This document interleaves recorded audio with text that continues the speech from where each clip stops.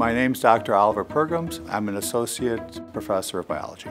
What I really love is the ability to make a difference. These students at Olive Harvey are the most committed students I've ever had. I've taught at UIC on a visiting basis at University of Chicago, at University of Pisa in Italy. The commitment here is incredible. Students typically have children, have full-time jobs, and they somehow find their way in the door and they take 15 hours of classes without any of the support that other students have. The commitment is incredible. And I'm nominated Dr. Pergams because he got me and a few of my peers to start the environmental club here on campus.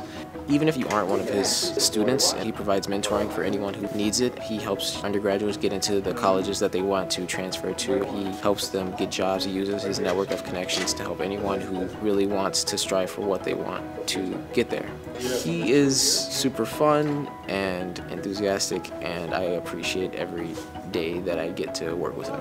You don't do things to win awards. You do things because you feel that they're the right thing to do and because you love to doing them. But it's nice to see evidence that what you're doing is working. is making people happy and further their careers.